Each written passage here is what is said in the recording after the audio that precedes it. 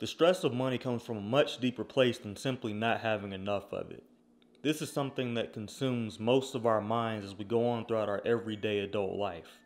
It's stressful to think about, isn't it? What if I told you this stress started before you ever made your first dollar, before you even made your first financial mistake? No, this stress started with the conversations that injected themselves into your life at a very young age.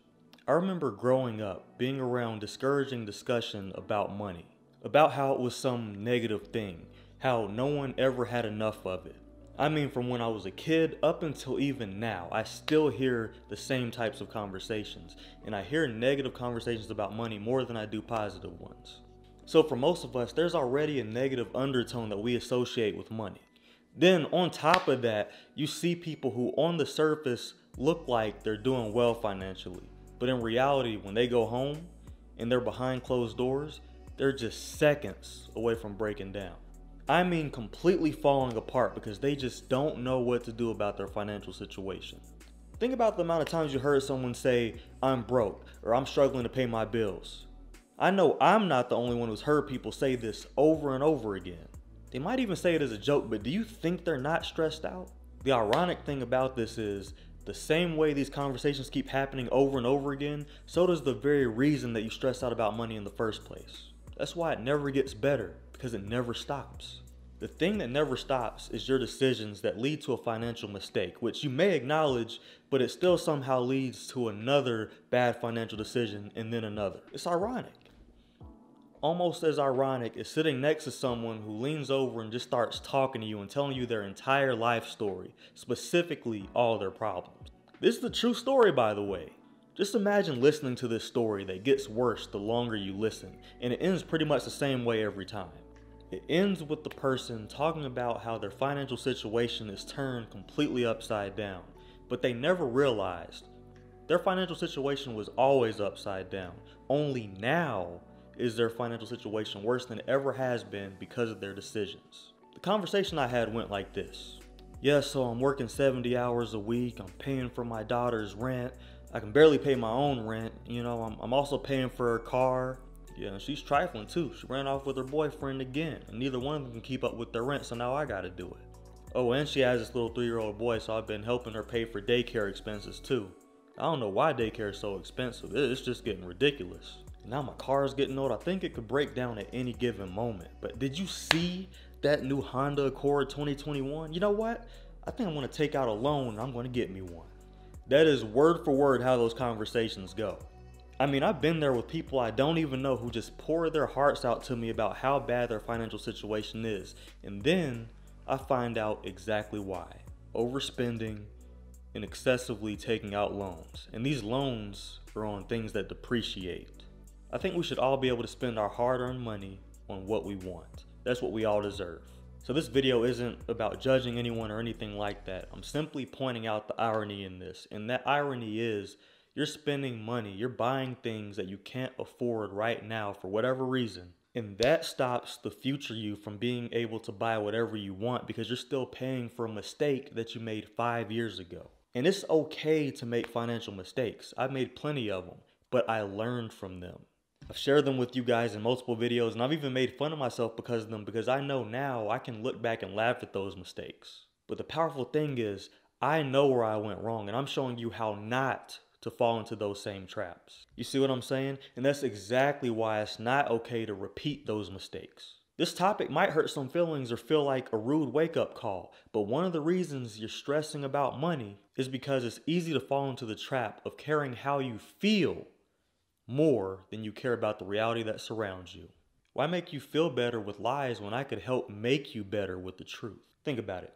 Imagine being broke, but coming home to a 60 inch flat screen TV as you pick up the remote and turn on some music that blares through your state of the art surround sounds. And that music plays at a supreme quality as you walk throughout your kitchen with the fine decor and fancy granite countertops. You go through that kitchen to grab a drink as you sit down on your fluffy couch that you're still paying off from two years ago. That, my friend, is what a broke man in 2021 looks like. And as you can see, you can be broke, but you can keep yourself comfortable by surrounding yourself around luxuries and the finer things in life. You can make yourself look comfortable by refusing to look at your bank account and not facing the truth that is and always has been your decisions that keep your bank account balance so low and your credit card balance so high. That's why you stress about money because it will always be in the back of your head until you do something about it. But what typically happens is instead of doing something about it, we just repeat the vicious cycle over and over. Remember those negative conversations I told you about earlier? This is a product of that because we've become so close minded that we actually think the only way to get expensive items is by taking out a loan or paying it off in monthly increments over the course of years. We've gotten to a point in our minds where there isn't plenty of money to go around. And we think that only a select few are able to receive a lot of it. A world where only one stream of income exists, and that one stream of income pays you for your time, not your value. I remember getting laughed at for saying I wanted to buy my next car in cash. I have a pretty expensive taste in cars, by the way. I was met with this. Well, I hope you find a job that pays you enough to buy it in cash. And I was thinking to myself, who said anything about a job? Bro, people out here really have no idea about multiple streams of income, much less passive or residual income. At one point, I was the same way. And what I see now is people falling into the trap that I fell into. And that trap was this the only thing that I thought about and considered when it came to making money was how much a job was able to pay me per hour. That's the same trap most people are falling into right now. And let me tell you this, bro. If we were all subject to the imprisonment of only being paid by the hour, which we only have 24 of each day, by the way, and if we were only able to get this income from one place, no wonder people stress about money. Why do you think people stress out about the possibility of losing their jobs? Because they don't have anything else but that job. There's no other streams of income. There's nothing to fall back on. And nine times out of 10, there's no money saved up in case their income stops coming in. That's why you stress about money. Your finances aren't together. And in the back of your head, you know that.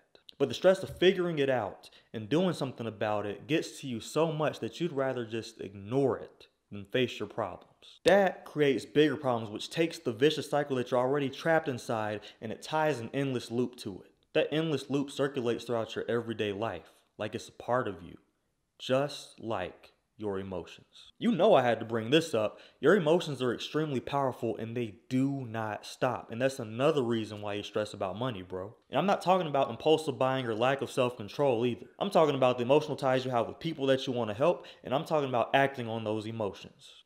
A lot of us don't set boundaries or limits, and by nature, we want to do good. You know what I mean? It's easy to want to become a hero and save everybody.